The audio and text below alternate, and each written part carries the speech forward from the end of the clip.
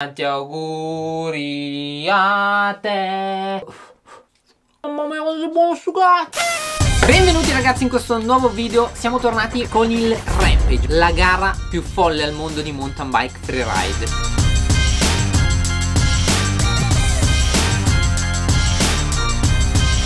Ventesimo anniversario. Devo dire che il rischio in questa gara è veramente altissimo e voi direte ma siccome il rischio è così alto? Le cadute ragazzi non parliamone. Perché ci sono delle persone che vogliono fare questa gara ragazzi? Partecipare o addirittura vincere un rampage ti dà un prestigio a livello di atleta altissimo. E soprattutto poi il premio in denaro è abbastanza alto. Ultimo dato rilevato da Wikipedia. Nel 2016 ragazzi il prize money era di 200.000 dollari Siccome ho fatto solo un video due anni fa prima che ci fosse il covid Poi hanno annullato la gara nel 2020 E quindi tantissimo pubblico che mi segue probabilmente non conosce nemmeno che cos'è Rampage Ma magari lo vuole seguire Ho deciso di fare questo video proprio in previsione del 15 ottobre Che si terrà appunto Red Bull Rampage 2021 ragazzi. Quest'anno la commenterò live su Red Bull TV ragazzi. Prima volta nella storia che qualcuno commenta in italiano live il Red Bull Rampage. 15 ottobre tutti su Red Bull TV a guardare la diretta. Con me Marco Fontana e Andrea Zigliani. Io vi lascio in descrizione ragazzi il link per scaricare Red Bull TV se non ce l'avete ancora. E per tutte le info utili riguardo all'evento. Sigla e poi vediamo tutti i momenti memorabili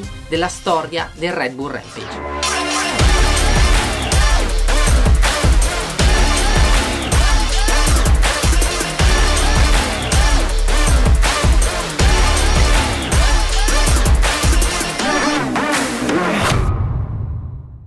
regole di una gara del genere non sono molto difficili da capire. Scendere dalla linea più pazza che si trova con i trick più estremi. E che ce vo? Che ce vo? Che ce vo?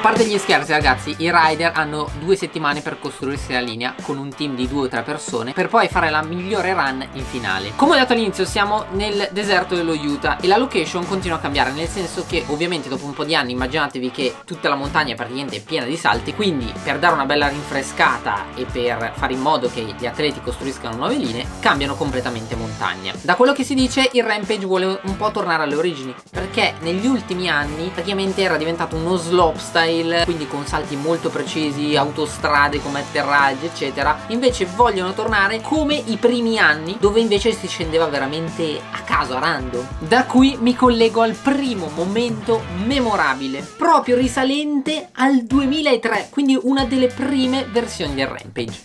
Ecco che vediamo un Josh Bender ragazzi Cioè, a qualcuno di voi potrà sembrare assolutamente senza senso, ma per un mountain biker dovete capire che cercare di fare un salto dove non c'è una vera rampa, un vero atterraggio e magari un salto anche molto grosso, chiuderlo e andare via, vale il tentativo di provare una pazzia del genere. In questo caso l'atleta in questione è Josh Bender, uno assolutamente rinomato al tempo per essere un sender ragazzi. Tradotto, uno che manda a caso.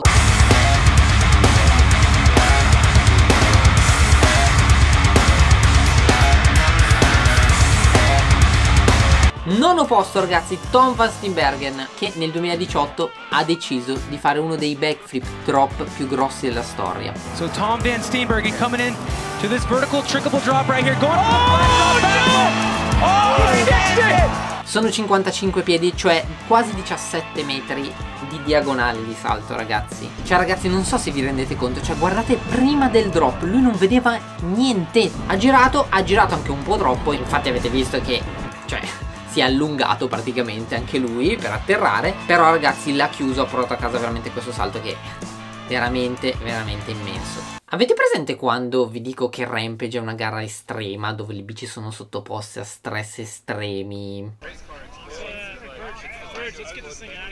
Ecco cioè questo è quello che succede quando si arriva un po' lunghi eh, in un salto nel 2014 ragazzi Kelly McGarry arrivando lungo su questo canyon gap ha tirato questa secca estrema dove la bici è esplosa, è vero è arrivato molto lungo e la bici non ha retto. La cosa che impressiona di più in questo video è il silenzio dopo la caduta.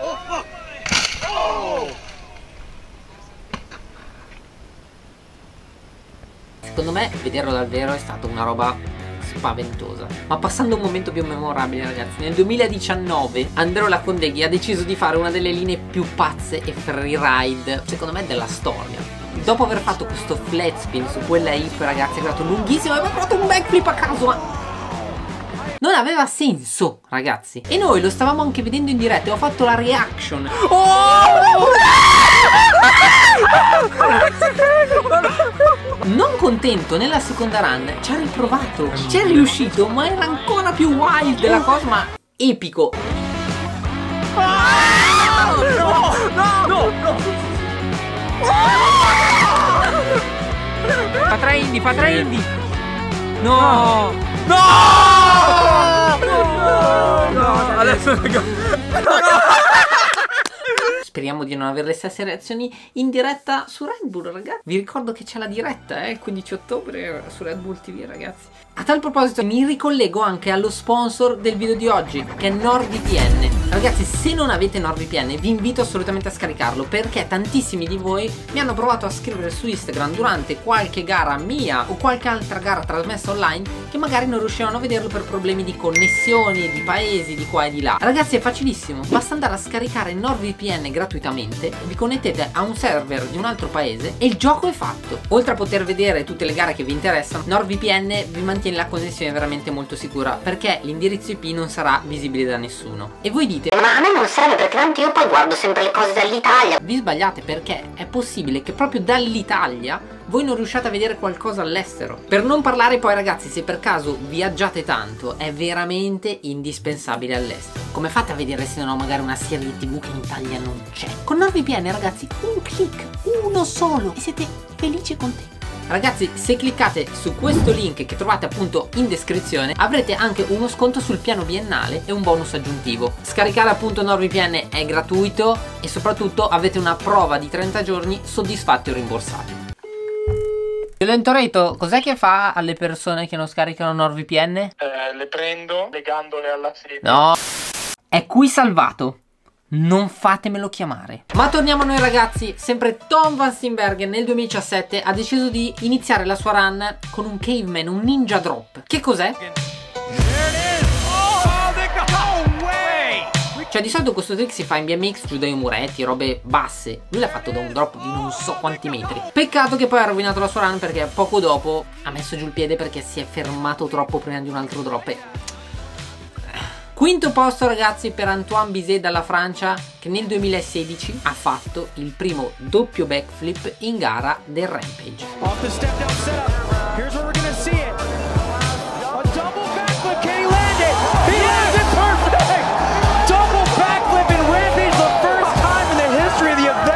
Spiego neanche ragazzi quanto è più difficile fare un doppio backflip con una bici da downhill da boh, 15 kg rispetto a una bici da dirt. Questo sul doppio backflip gli è valso anche il secondo posto in quell'anno. Ma attenzione ragazzi perché adesso andiamo veramente sulle cose succulente. Ci avviciniamo al podio. Poco fuori dal podio ho messo Cameron Zink con un trick ragazzi da una struttura sembra un po' le strutture di Gardaland. Da presente quando salite sugli scivoli dell'acquapark ci sono un po' le cose tribali. Eh, peccato che ha fatto un salto enorme e triccato peccato.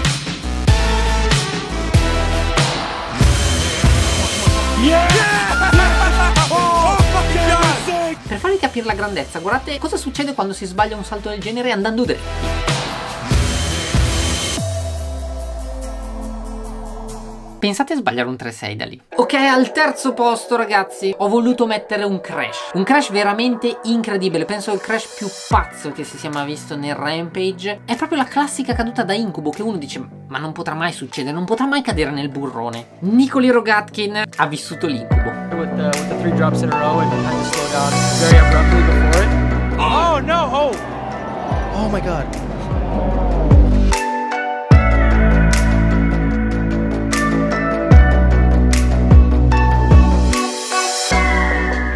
Un attimo le dimensioni, ragazzi. È tipo un palazzo di quattro piani, di più. Cioè, in questo caso lui stava scendendo normalmente. Poco prima di arrivare su quello strapiombo, gli si è chiuso lo sterzo e lui è caduto di fianco.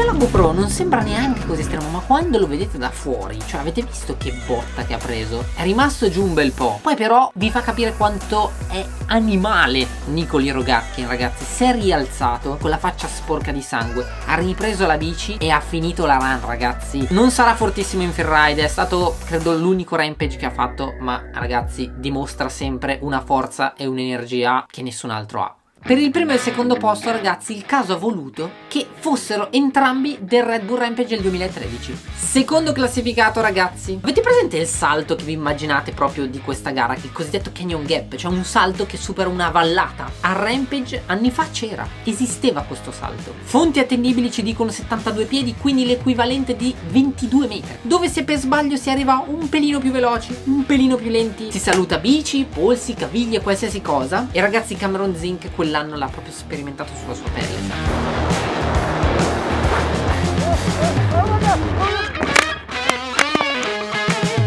Arrivando qualche chilometro orario in più, avete visto dove è atterrato. La cosa che mi fa più paura di questa caduta è sentire lui in aria che...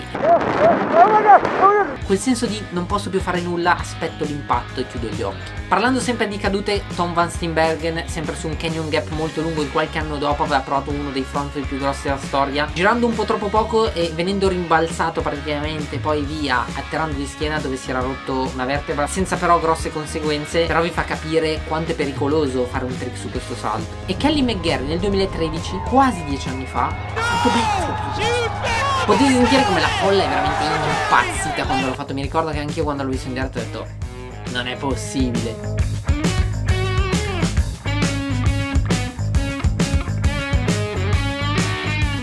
Ma dopo aver visto un Cam Zinc diventare più corto di 10 cm dopo quel lungo ragazzi Posso comunicarvi che il primo posto se lo aggiudica proprio Cameron Zinc ragazzi Che sempre nel 2013 ha fatto uno dei backflip più enormi della storia della mountain bike E aggiungo su un salto veramente nazzissimo Lui l'ha fatto in step down Quindi da una piattaforma Cam Zink upside down with he gets it! He landed the flip! Cam Zink just landed 78 piedi ragazzi. Circa 24 metri di diagonale di salto. Mi ricordo che quando abbiamo visto questo trick in diretta la preoccupazione era più per sua moglie. Era lì con suo figlio o che aspettava il bambino adesso non mi ricordo però era preoccupatissima. Io non immagino cosa abbia provato sua moglie in quel momento